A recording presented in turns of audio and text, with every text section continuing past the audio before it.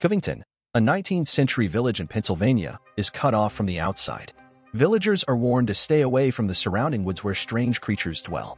Long ago, the village leaders and creatures agreed. Villagers stay out of the woods, creatures stay out of the village.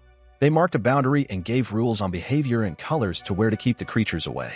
After August Nicholson's son dies from an incurable illness, a young villager named Lucius Hunt asks the elders for permission to leave and seek medicine in the outside world. He hopes to find a cure for another villager, Noah Percy, who suffers from mental illness. However, the elders refuse Lucius' request. Lucius, seen as odd by the village, prefers solitude and rarely talks to others. When Kitty proposes marriage, he declines. Lucius is close to Kitty's sister, Ivy, who's blind and senses colors around people. Noah gives Ivy red berries from the woods, which makes Lucius believe the creatures there don't harm him. This strengthens Lucius' resolve to ask the elders again for permission to leave and seek help in the towns, believing he'll be safe like Noah. Lucius' second request is turned down, and his mother, Alice Hunt, advises him to stay home, fearing the dangers outside that took his father's life. Upset, Lucius confronts his mother about her feelings for Ivy's father, Edward, who's married. He also questions a locked black box she keeps, containing the elders' pasts. Lucius wants her to open it, but she refuses, the next day, Lucius patrols the village borders. Secretly, he crosses into the woods but hears only rustling branches. That evening, he talks with Ivy at the Walker's house. Ivy reveals her sister will marry someone else and admires Lucius' bravery but warns against leaving. As Lucius leaves, Ivy mentions she's now open to suitors since her sister is marrying. Shortly after, an alarm sounds, signaling creatures from the woods invading the village. Lucius rushes to the Walker's house and saves Ivy from being attacked by one of the creatures. The next morning, red marks are found on many doors in town. At a meeting, Edward Walker suggests the creatures feel threatened. Lucius admits his trespass likely caused it. He feels ashamed, but Edward praises his bravery. Sometime later, Kitty Walker marries Kristoff Crane, and there's a celebration. During the festivities, children scream as creatures return to the village. The party stops when villagers find skinned animals hung on porches.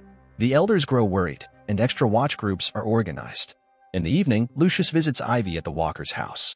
They confess their love and plan to wed, informing the elders the next day. The news spreads quickly, and Noah, disturbed, stabs Lucius. Later, Noah is found with blood on his hands. Ivy discovers Lucius unconscious in his blacksmith shop, unable to see his color. Noah is confined for his actions. Lucius is badly hurt, and the village's treatments aren't enough.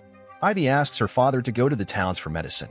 At first hesitant, Edward reveals a family secret. Ivy's grandfather was killed in the towns, warning her about their dangers. Edward shows Ivy the shed, revealing the suits made to scare villagers. He confesses the truth. Elders made up the creatures to keep villagers safe. Each elder moved to the village after losing someone, seeking a better life. He apologizes for lying and grants Ivy permission to go to the towns to save Lucius. After Ivy leaves, Edward tells Alice that supporting Ivy's mission is all he can offer, hinting at his feelings for her. He then informs the other elders about his decision, stating it's not just about protecting Covington but also showing compassion. He believes allowing Ivy to save Lucius is the right thing to do, as they were victims like their ancestors. He emphasizes that it's up to the younger generation like Ivy and Lucius to carry on their way of life. Ivy packs supplies, including a gold pocket watch from her father. She's joined by Kristoff and Fenton to go into the woods.